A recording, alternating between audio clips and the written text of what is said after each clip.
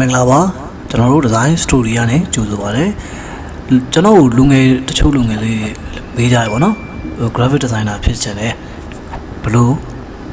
လေ့လာရမလဲပေါ့နော်အဲ့ဒါတွေမလေ့လာခင်မှာကျွန်တော်တို့ graphic designer graphic design မှာဘယ်နှမျိုးဘယ်နှမျိုးရှိလဲကျွန်တော်တို့အရင်သိကြတဲ့တယ်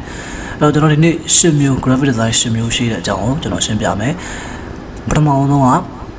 visual identity graphic design မှာသူကတော့ လုပ်ငန်းတစ်ခုရဲ့ brand ကိုမြင်တော့အောင်ဆွဲရတဲ့အဲ့ဒီလုပ်ငန်းနဲ့အဲ့ဒီလုပ်ငန်းရဲ့ audience အဲ့ဒီလုပ်ငန်းရဲ့ customer တွေကြားမှာ visual communicate လုပ်နိုင်တဲ့ logo တွေလိပ်စာကတ်တွေ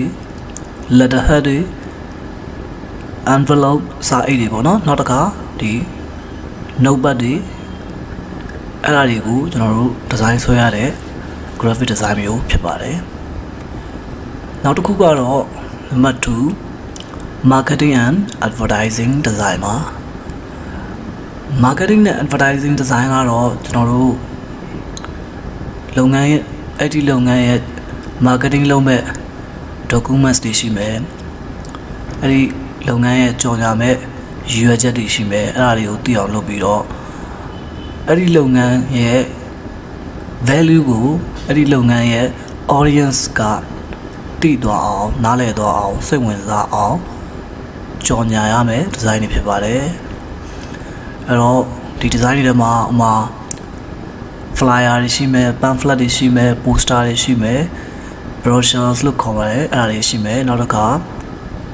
um menu design စားသောက်ဆိုင်ဆိုရင် menu design တွေရှိမယ်နောက်တစ်ခါ social media မှာကြော်ညာတဲ့ Facebook Instagram လို့ကြော်ညာတဲ့ design တွေရှိမယ်เนาะပြီးတော့ရဲ့ Vine နဲ့လုပ်ထားတဲ့ banner design တွေရှိမယ်ပေါ့နော်အဲ့ design တွေဆွဲရတဲ့ graphic design မျိုးဖြစ်ပါတယ် number 3က user interface design လို့ခေါ်ပါတယ် user interface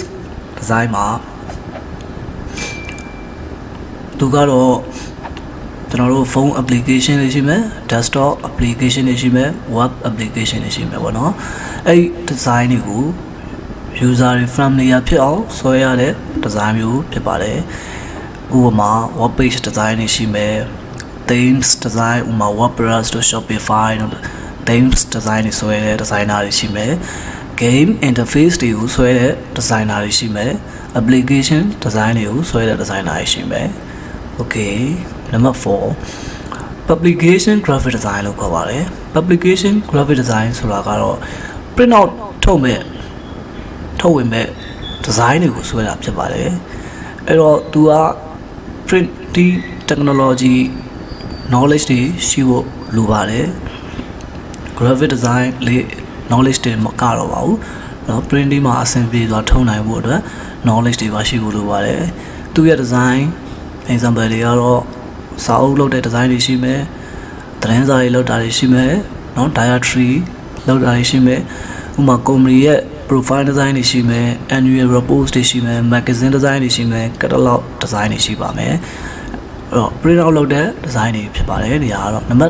5 packaging design ဖြစ်ပါတယ် packaging graphic design ဆိုတာကတော့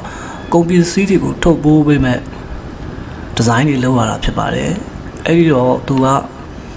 3D knowledge ရှိဖို့လိုပါတယ်ပြီးတော့ရင်ကျွန်တော်တို့ဒီ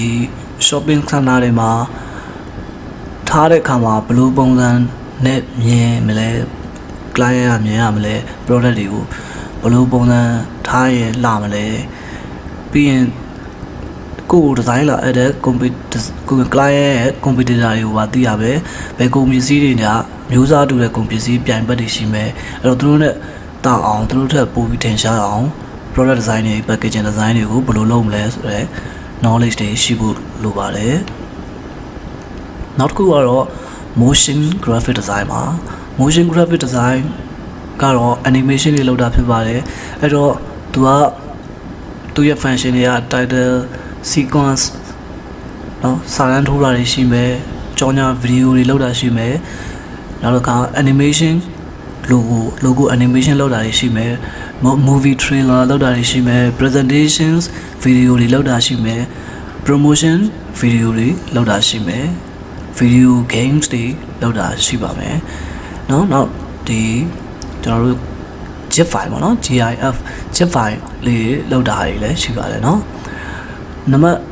7 environmental graphic design ပါ environmental graphic design မှာဘာတွေလဲဆိုတော့ကျွန်တော်တို့ပတ်ဝန်းကျင်မှာမြင်နေရတဲ့ design တွေဖြစ်ပါတယ်အဲ့တော့သူကဘာတွေလဲဆိုတော့ sign board တွေရှိမယ် နော်ပြီးသွားရဲ့နယံပေါ်မှာကတ်ထားတဲ့ဒီ wall paper design တွေရှိမယ်နော်ပြီးရင်အမ် paybook design တွေရှိမယ်နော်ပြီးသွားရင်ကျွန်တော်တို့ event and conference ပေါ့နော်ပွဲတွေမှာ vinyl ရင်းနဲ့ကြော်ညာထားတဲ့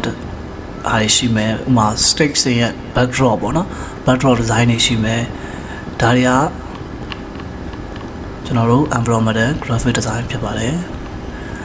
နောက်ဆုံးနံပါတ်8 add an illustration graphic design ပါ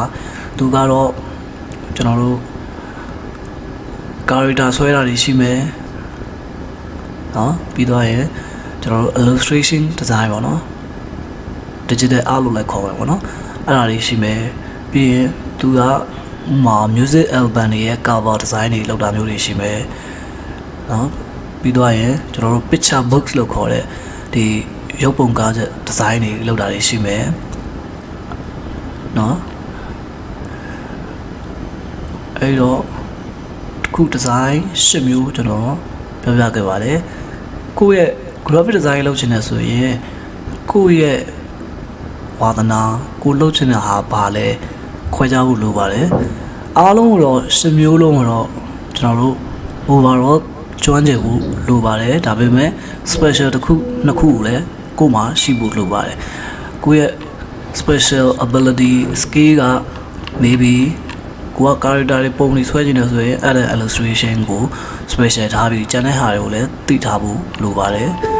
အဲ့တော့အားလုံးပဲကျေးဇူးတင်ပါတယ်